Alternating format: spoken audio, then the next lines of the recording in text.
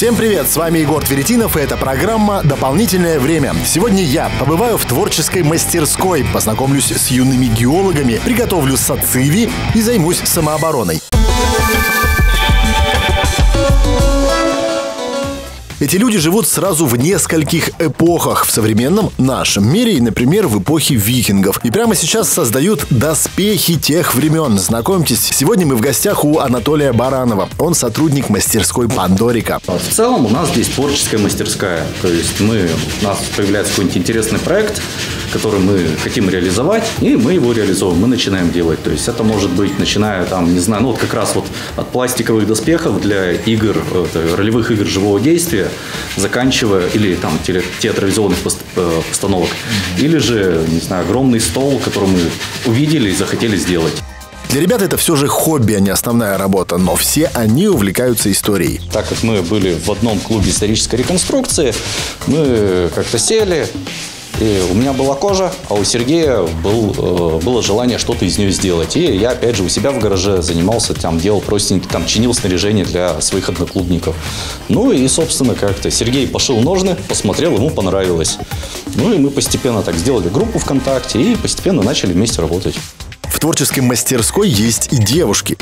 Так как у нас у всех э, разные хобби есть, то есть, допустим, у кого-то это историческое фехтование, реконструкция, у кого-то э, там страйкбол и тому подобное направление. И в целом просто мы, опять же, в одной компании общаемся, и кому-то что-то надо сделать. Человек так приходит, смотрит и такой, о, хочу, а можно к вам? Ну вот некоторые люди остаются с нами, работают. Э, мы им помогаем как-то с их проектами. И, соответственно, там тоже какие-то свои задачи. Говорим, хотите сделать? Они такие, да, хотим. Так вот, делайте. Большинство проектов, которые делают ребята, это точные исторические копии. Ты берешь источник археологический и по нему делаешь. То есть это может быть как предмет э, быта, то есть там даже, ну, не знаю, там шкатулка, гребень, это может быть там материалы кость, дерево.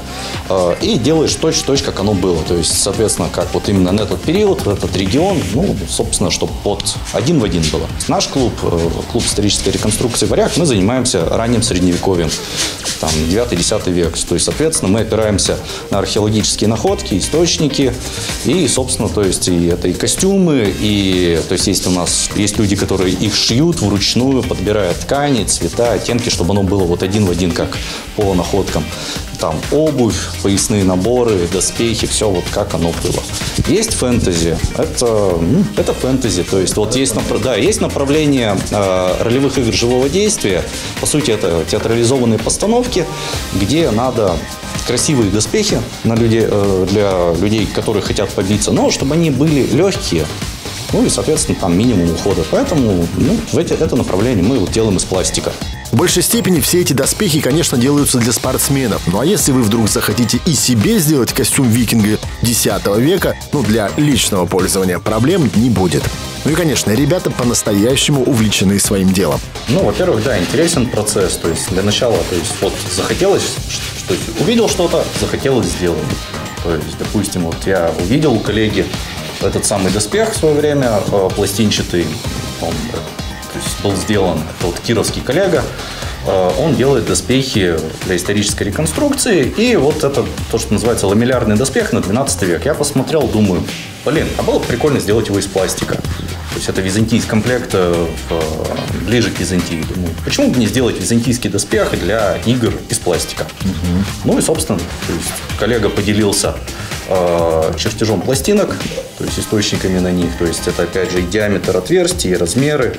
Ну и, собственно, дальше сидишь. То есть это был...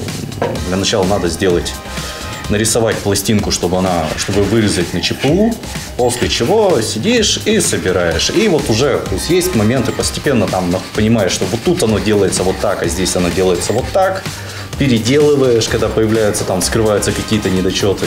И ну, больше всего радует, конечно, и процесс, и результат. Но не без ложки дегтя появилась профдеформация. Близкие люди ну, не прям... любят сидеть э, с реконструкторами, смотреть исторические фильмы.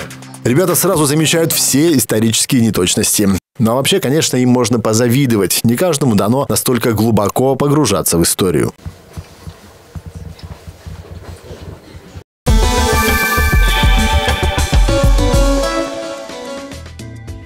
Это геологическая лупа, или как ее называет Назар Мокин, просто стеклышко. Юный, но очень рассудительный ученик пятого класса точно знает, как важно развивать кругозор. Он, кажется, разбирается во всех моллюсках и может научить любого взрослого. Хожу я уже где-то три года.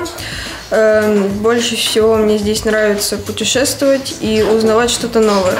Допустим, в Екатеринбурге был э, минерал-шоу. Там мы изучали различные породы.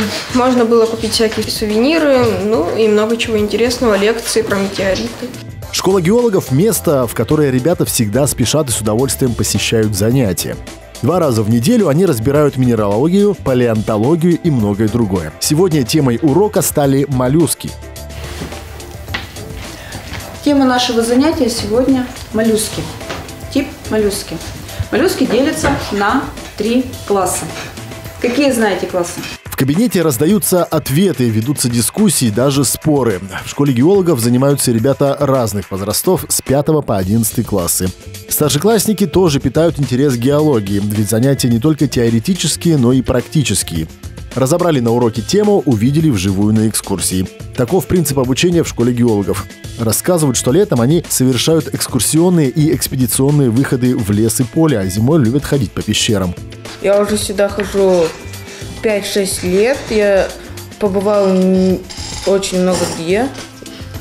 Побывал в Нижнем Тагиле, побывал э, на двух слетах, на двух сплавах и много где еще.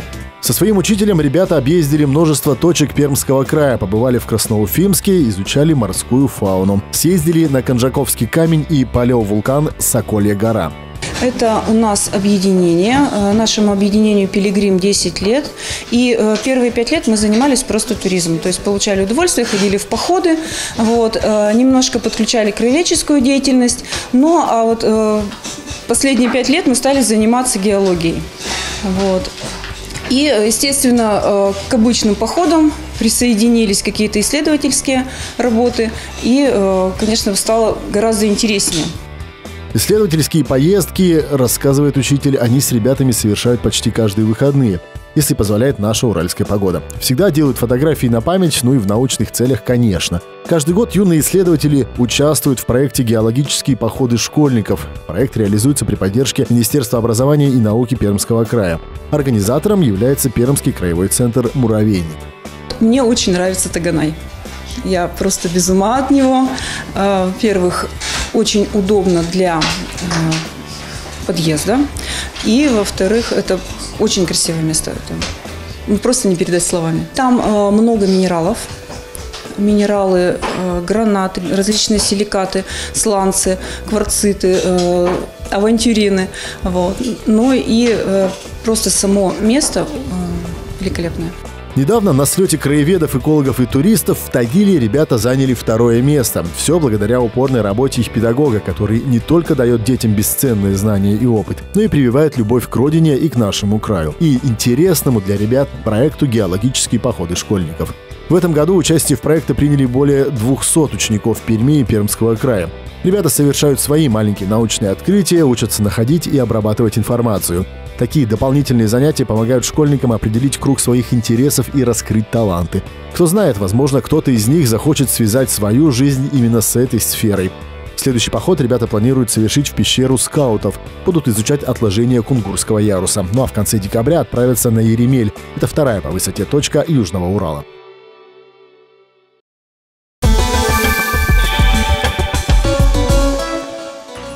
У нас еще одно грузинское блюдо на повестке дня. Продолжаем постигать грузинскую кухню. Что делаем? Здравствуйте, приветствую зрителям нашим. Сейчас мы начнем Даним, уже готовить э, сацию. Сацию – это блюдо, которое э, готовится, э, вообще-то готовят из индейки. Вот mm-hmm. настоящий сацию – это из индейки готовится. Но в данный момент у нас есть просто курица. Отварная курица, вот. Сейчас нам надо... у вас нет индейки, а есть Да, курица. сейчас курица, то есть обычная курица, варим, просто варим ее и все, достаточно. Пока это уверим сейчас. Следующий шаг у нас получается сейчас. А, начнем уже смесь делать, вот, то есть для сатью.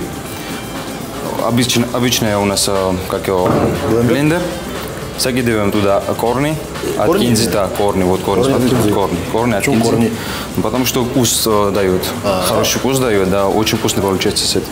Можно и без этого тоже, но если добавим туда, два раза вкуснее будет. Следующий добавляем чеснок. Целый зуб. Да, целый один зубчик достаточно будет. То, что сейчас мы делаем, количество, это будет достаточно. Следующий шаг. Сейчас уже начнем э, специи добавлять. Это у нас получается Да. уц хосунели. Да, без этого никак не получится. Уц хосунели.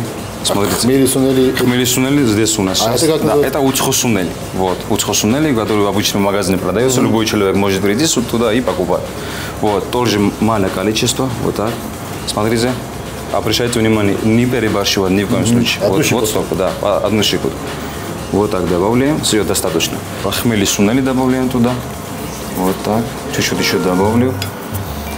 Следующий у нас получается обычный э, красный перец, дробленый. Острый. Такой острый перец, да. Только немного, а то будет очень острый, достаточно. Следующий добавляем соль. Тоже немного, вот так. Чуть-чуть еще. Я уже чувствую, сколько сколько надо. Да. Сейчас добавим уже, э, получается у нас э, грецкий орех. Его побольше, да? Да, его побольше. Ну, сацию это что такое? Сацию это э, состоит, э, самый главный ингредиент, там идет э, грецкий орех. Вот. Добавляем туда грецкий орех. Вот так. Слушай, а раньше блендеров не было. Как делали? Руками. То есть Всё прям все прямо, да. И перемешали. Ага. Да, вот так. Сейчас там нам понадобится еще воды добавить туда. Давайте вода. Да. Сейчас смотрите, как воды добавить. Определимся, то есть сколько надо будет. Вот. Вот, смотрите, все. То есть полностью вот ровно стало, да? Все, больше не надо. Ага. Да, то есть все, больше ничего не добавляем туда. Вот сейчас перемешаем, вот так. И все, начнем уже э, поставить сюда и включить блендер. Вот так. Сейчас смотрите, как надо определиться, то есть э, хватает там воды или нет. Когда начинает густеть, вот как сейчас в данный момент, достаточно там воды. Если э, чересчур много добавили э, грецкий орех, можно еще воды добавить туда. Вот. А если воды много получилось? Если воды много получится, ничего страшного, а, а опять берем э, как его, гре- орех грецкий, добавляем туда и также ставим. То есть э, не очень густой и не очень... э. Следующий шаг. Э, курица, вареная курица уже положим туда. Наш э, соус добавляем сюда.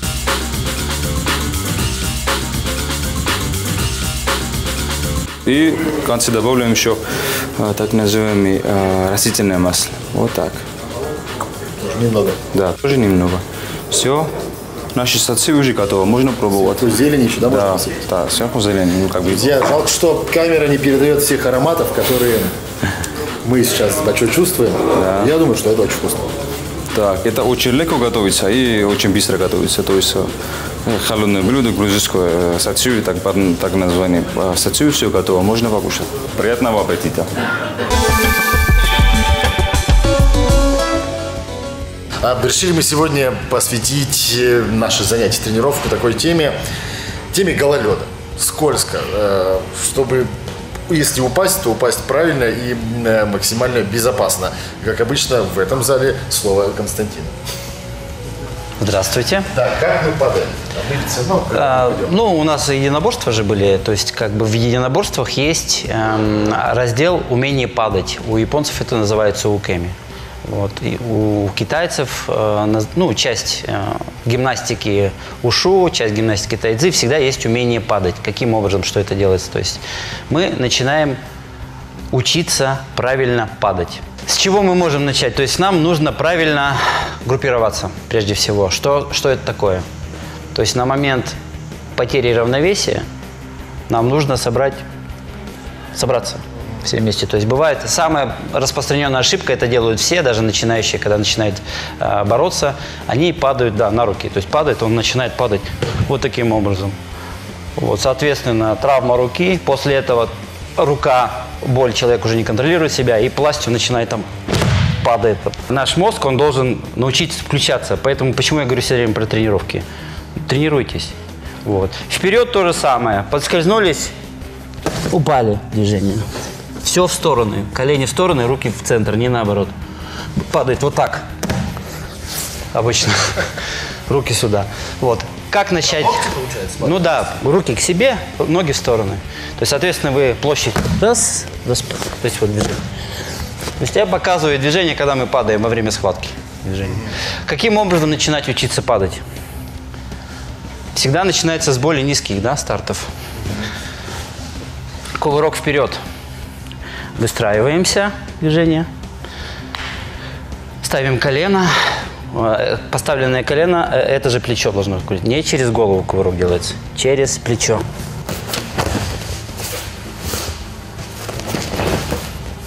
Самое первое движение, пожалуйста. Пробуем. Через плечо встали, да, вот. Развернулись. И еще разик. И вот где-то, а, когда мы делаем 100-150 раз, мы приблизительно начинаем правильно уже кувыркаться, то есть правильно группироваться. Ошибка всегда, я даже смотрю на детских тренировках, они кувыркаются через голову. Э, Нельзя через голову кувыркаться. Потом, ну, когда мы научились кувыркаться с колен, красиво, хорошо, мы начинаем кувыркаться с ног. Движение. То же самое движение. Как бы раз. Раз.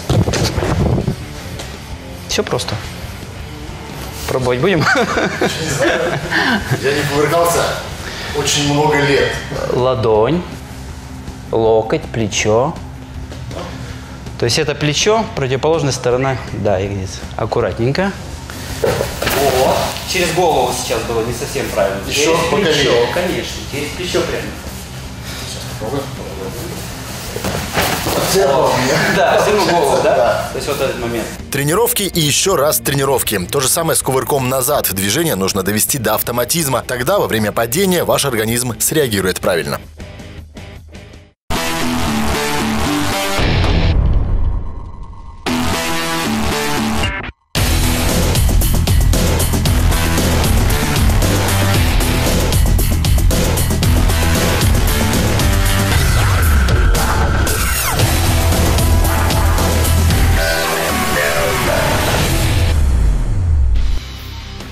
Паш, привет.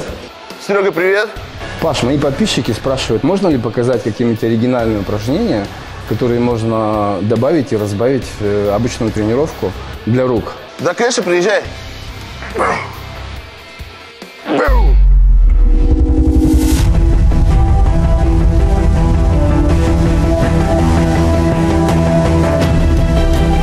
О, Серега, здорово. Как сам? Нормально.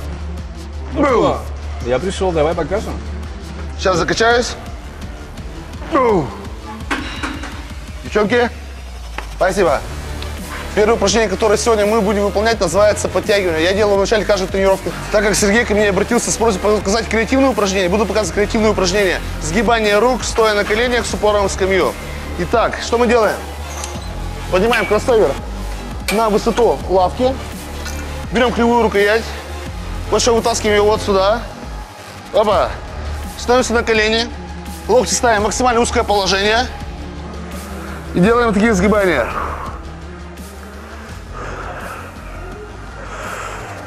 Обычное разгибание рук на трицепс.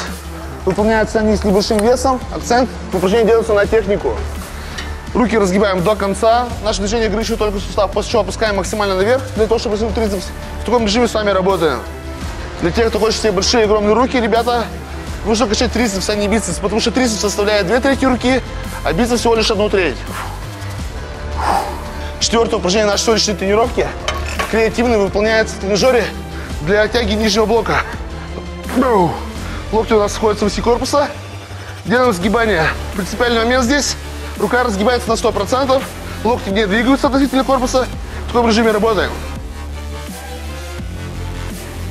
Пятое упражнение на руки, которое сегодня мы будем выполнять, называется жим трицепс в машине. Руки выставляются у нас на ширине плеч, локти направляются вдоль корпуса. В таком режиме мы сами работаем. Раз.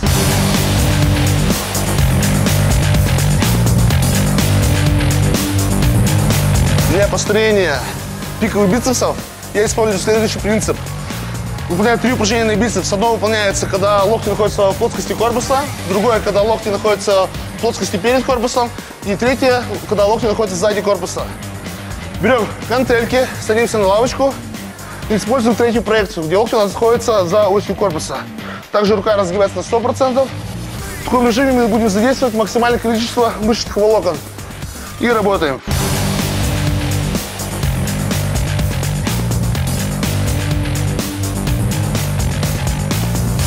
На трицепсе у нас находятся три мышечные головки.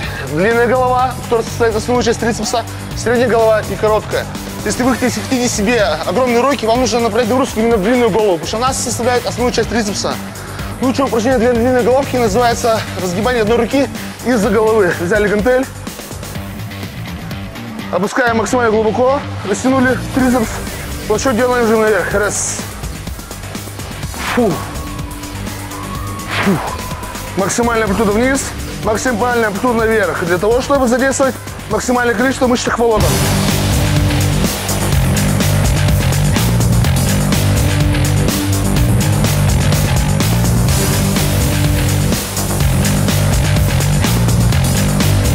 Слушай, про твоего пса какие-то легенды ходят, что какой-то монстр огромный и э, очень хищный. Это реально мой ребенок, я его очень сильно люблю. Зовут его Атлант, порода американский були, порода очень редкая.